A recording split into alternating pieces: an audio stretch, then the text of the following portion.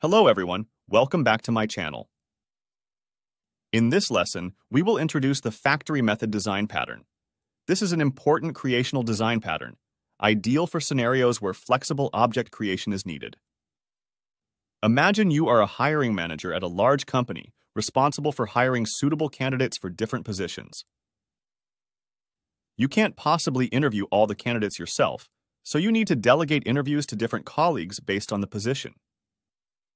For example, technical positions are interviewed by the technical lead, and marketing positions are interviewed by the marketing lead.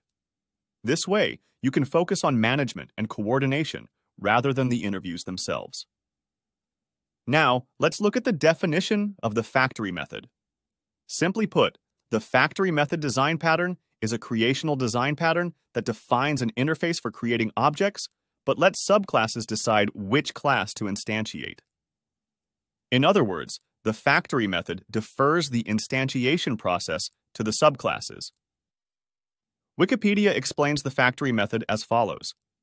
In class-based programming, the factory method pattern is a creational design pattern. It uses factory methods to handle the problem of creating objects without specifying the exact class of the object that will be created. This is achieved by defining factory methods in an interface, implemented by subclasses or by implementing the factory method in a base class and optionally overriding it in derived classes. The factory method design pattern usually includes the following components. 1. Product defines the interface for products. 2. Concrete product implements the product interface. 3. Creator declares the factory method that returns a product object. 4. Concrete creator implements the creator interface and the factory method, returning instances of concrete products. So why should we use the factory method design pattern? Here are a few benefits. 1. Decoupling the creation process. Separates the creation and usage of objects, reducing code coupling. 2. Enhanced flexibility.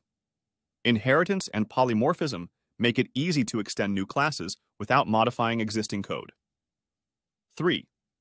Improved code maintainability. Centralizes object creation logic in the factory method, making the code easier to maintain and extend.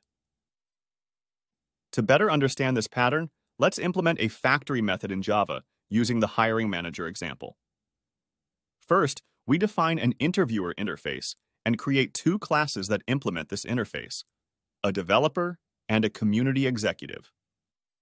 Here, Interviewer is equivalent to the product in the factory method, and developer and community executive are the concrete products. Next, we create an abstract hiring manager class that includes an abstract factory method, make interviewer, and an interview method, take interview. The take interview method calls the make interviewer factory method to create a specific interviewer and then conducts the interview. This hiring manager is equivalent to the creator in the factory method. Then, we create two concrete hiring manager classes. Development Manager for hiring developers and Marketing Manager for hiring marketing personnel. Here, Development Manager and Marketing Manager are equivalent to the concrete creators. Finally, the client can use these concrete hiring manager classes to conduct interviews.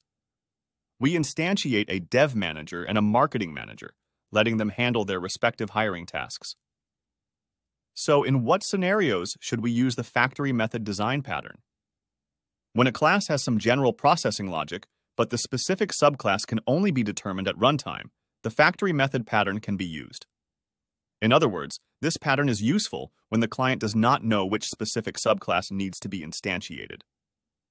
In conclusion, the factory method design pattern defines an interface for creating objects, allowing subclasses to decide which class to instantiate.